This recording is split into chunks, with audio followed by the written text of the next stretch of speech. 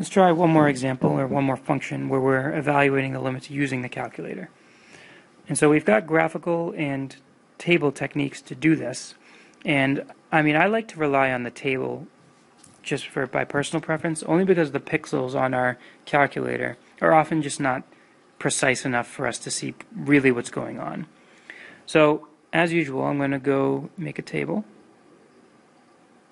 down here, and I'm going to record what I find in my function. So, in y equals, you should put this function here. And then you want to go to your table set, so hit second window, and make sure your independent variable is set to ask, not auto. And then go back to your table, so hit second table. And now we're interested in as x approaches 0. So let's start by plugging in a few numbers a little smaller than 0. So how about number like point one, uh, negative point 1? you get an error. So why do you get an error? Well, if you look at the function itself, we're evaluating logs, and the log of a negative number does not exist.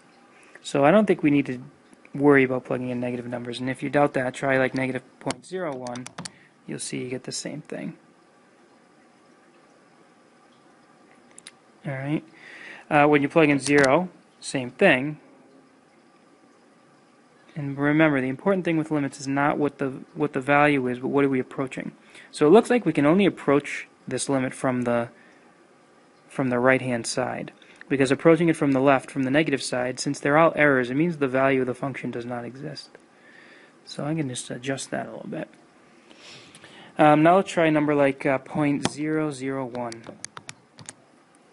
0.001, my calculator gave me it says 1e negative 4, but that's just, that's 1 times 10 to the negative 4, which is a very, very small number. And if we try uh, 0.01, you get negative 0.002, And if you try point 0.1, you get 0.0414. Uh, whoops, wrong place. If you plug in 0.1, you get negative 0.0414.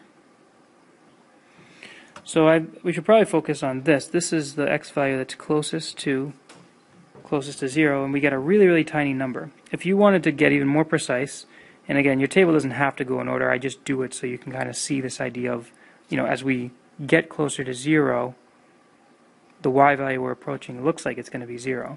But if you weren't sure, you know, you could even just try this, this input, 0.0001.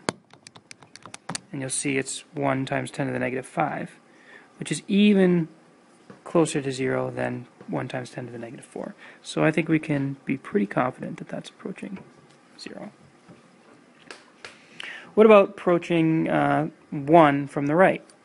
So we already got our table. Let's just delete all those entries there. Let's make a new table here.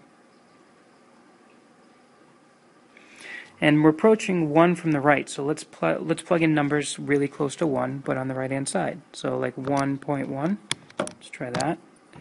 Plug in 1.1, you get 7.7845. Try 1.01, even closer to 1. 1.01 gives you 70.162. And let's try 1.001. You get 693.99. Let's try one more. 1.0001 gives you 6,932.3. So it looks like as x is approaching in uh, 1 from the right hand side, our y value is approaching infinity.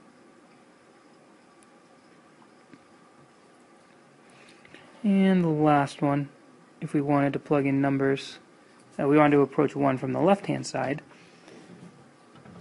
then we would be plugging in numbers close to 1 but a little less than it. So we try 0.9. So I to delete my table, plug in 0.9. You get negative 6.092. Try 0.99. And you get negative 68.47. And 0.999 gives you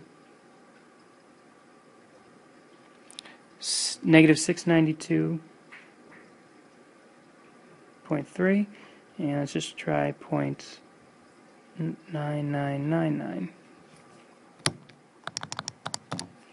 you get negative 6931 so you can see now as x is approaching 1 from the right hand side I'm sorry from the left hand side the y value the y values are approaching negative infinity so this is equal to negative infinity. So there are some strategies for using the calculator to evaluate limits.